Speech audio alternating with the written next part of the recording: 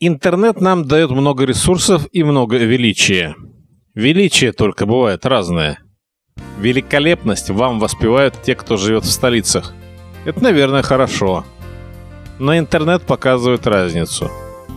Разница впечатляет. Самое удивительное, что мы типа верим в Бога, не веря вообще. Господь Бог нам дает возможность, но мы насрали на него так – вы должны ему сказать спасибо за лес, за нефть, за газ. А не говорите. А зря. Про нефть, про газ вы слышали? Так ли это на самом деле? Интернет дает нам возможность без проблем понять нашу жизнь. Так вот, только по природному газу мы чуть-чуть более... А в остальном мы даже не можем оказаться заправкой. Но даже определившись по уровню, а он примерно в десятке, где наша жизнь в смысле зарплат? Почему Эстония получает больше в 4 раза с учетом всех налогов, ипотеки, квартплаты и кредитов? К слову, должный интернет показывает примерно 9 стран, всего лишь 9 стран с абсолютно бесплатной медициной. Наша медицина где-то 84 место из 200. Я не знал до 14 лет про Сталина, но узнал полгода назад. При той жопе, в которой мы живем, пенсия 50 лет. Он это делал – а при Брежневе доходы поднялись на 70% при 19-летнем замороженном курсе доллара. Это единственная кризисная страна в мире. Единственная с мизерной пенсией и зарплатой. Или вы думаете, что КПРФ про это не знает? Просто это единственная оппозиция –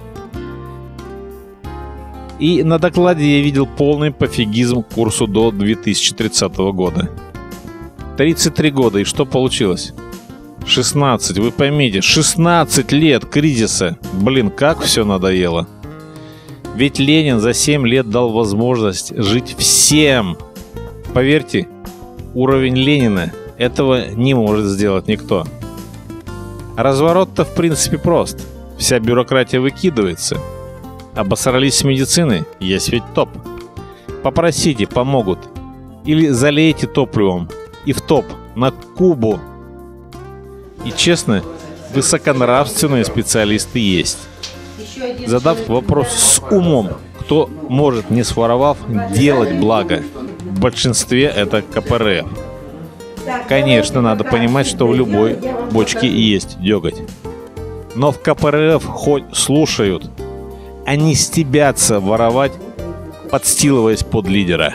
Мы посетили опять районы, потому что там э, ну, люди нас, нас э, сами приглашали для того, чтобы мы им помогли.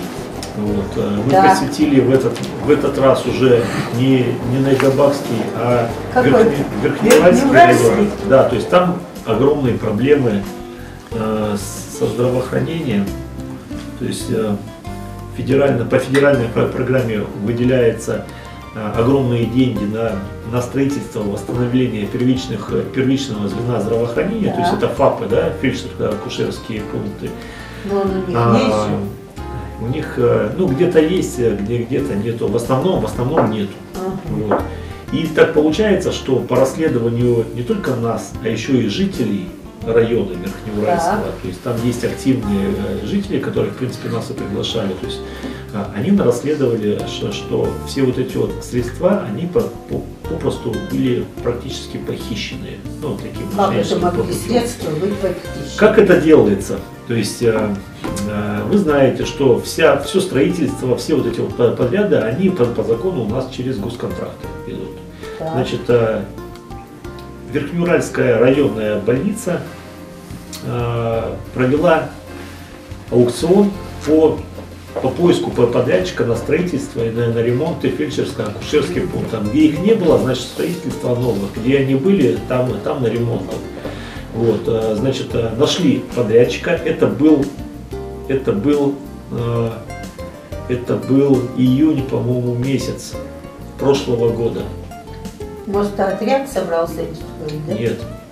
Вот. э, на- Нашли по- подрядчика, те только собрались на- начать э, свою работу, значит, с Челябинска, с Министерства здравоохранения идет указ, негласный указ, по телефону, по телефону, что э, с ними договор, контракт разрывайте на местах. То есть они на себя, опять же, не берут ответственность. Министерства здраво- здравоохранения.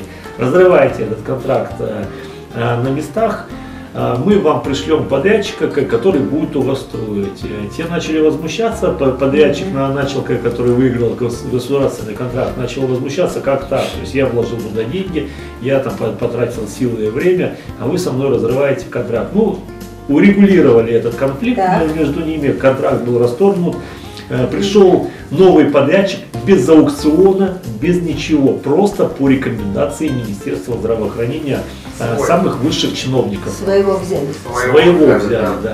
Вот.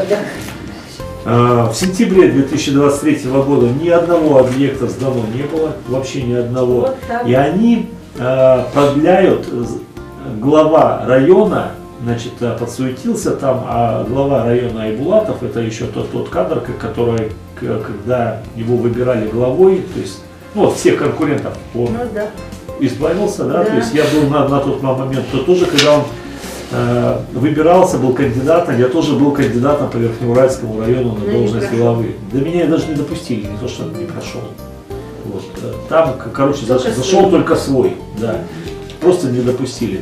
Вот. Айбулатов подсуетился, значит, и они продлили вот этот государственный контракт до декабря месяца. То есть э, по закону они могут продля- продлять только один раз. Все, второго бы- быть не может по закону. Вот. Они продляют этот ко- контракт до, до декабря месяца, наступает декабрь. Мы когда с тобой ездили? В декабре или в январе? Деньги все В январе? исчезали. те главные врачи, ко- которые а, пошли на поводу у Министерства здравоохранения и подписали вот эти вот а, Остались. приемку, они остались, да.